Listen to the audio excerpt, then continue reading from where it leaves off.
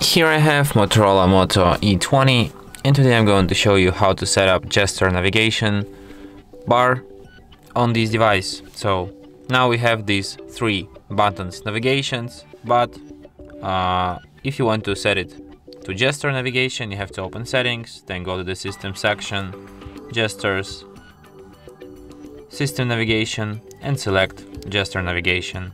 And now you can navigate with this with gestures without these old-fashioned buttons.